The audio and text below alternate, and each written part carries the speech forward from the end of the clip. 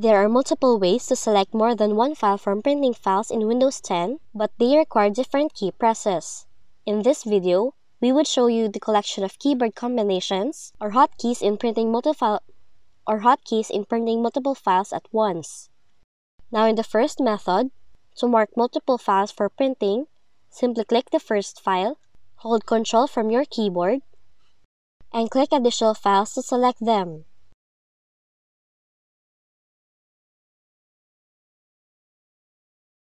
Then release the Control key to perform other actions without deselecting the files. Next, the Control and Shift key is the key combination that is ideal for selecting a larger number of adjacent files. To use it, click on the first file in the series you want to mark, then press and hold the Control key and Shift key on your keyboard together, then click on the other end of the series of files you're looking to print and all of the files between the two files you clicked on will be selected.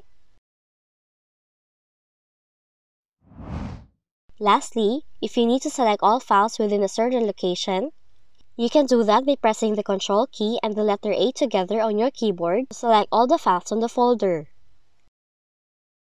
Now once you have chosen the method to select your files, right-click, choose Print to open the Print menu, and choose your printer for normal printing process.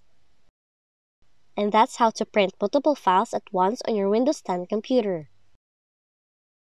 If you found this video helpful, kindly like and subscribe. You may also click and turn on the notification bell so you can be notified from whenever we release new videos.